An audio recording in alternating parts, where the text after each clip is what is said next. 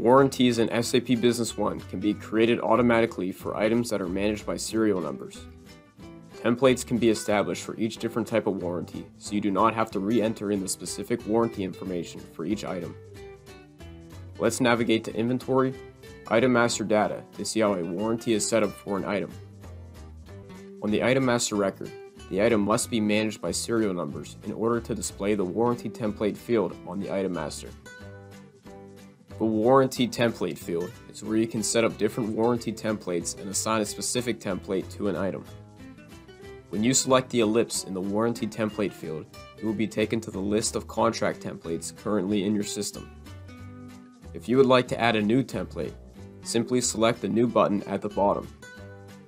Doing so will display the contract template screen. You can also access the screen by going to Administration, Setup, Service, Contract Templates. In the Contract Template Setup window will be various fields that affect how the warranty will function.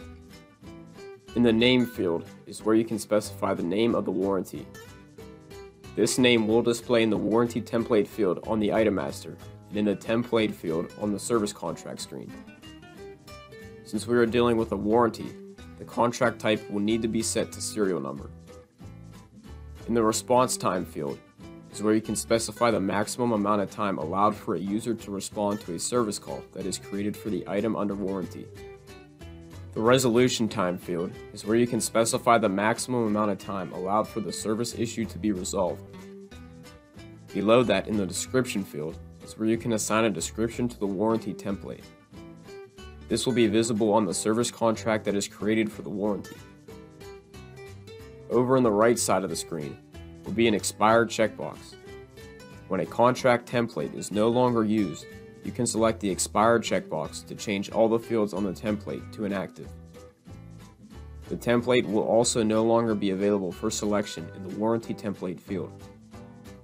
Next, in the duration field, is where you can specify how long the warranty will last once the item has been purchased.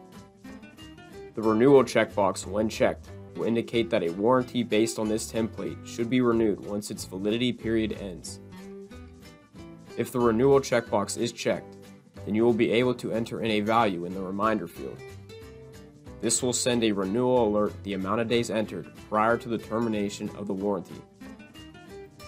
Under the Coverage tab will be where you can specify during which days and hours the customer is entitled to receive service for the product.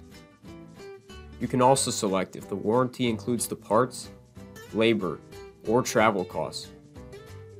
Finally, the Including Holidays checkbox will indicate if the customer is entitled to receive service on the holidays. Over on the Remarks tab is where you can enter in contract template specific remarks that will display on the service contract screen for every warranty that uses this template.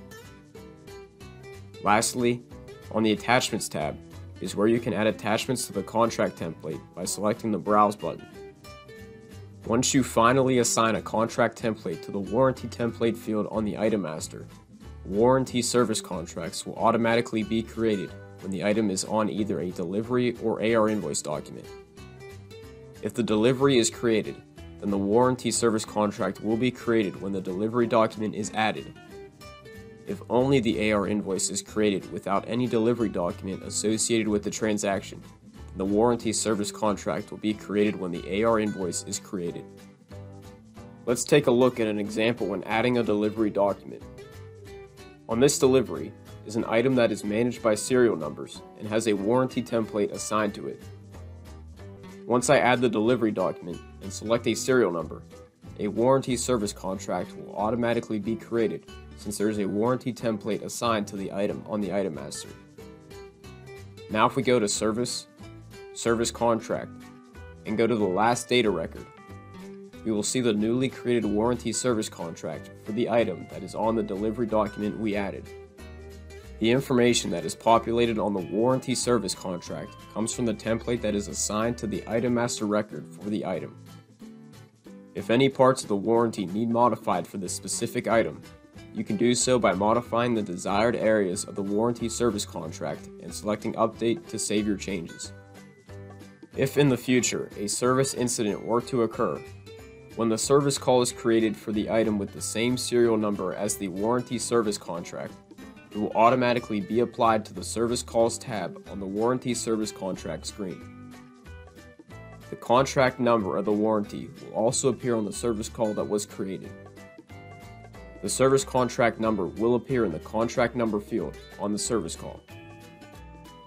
The Warranties functionality in SAP Business One is a useful tool for automatically assigning warranties to items in your system. Join us as we help you learn more about what SAP Business One has to offer by clicking the subscribe button and turn on post notifications so you never miss a new video. As an SAP Gold partner, LBSI can help you take full advantage of everything the system has to offer. To get in contact with us, visit our website at www.lbsi.com and navigate to the contact link. You can also email us at sales at lbsi.com for sales related inquiries or SAP support at lbsi.com if you're an existing client in need of support assistance.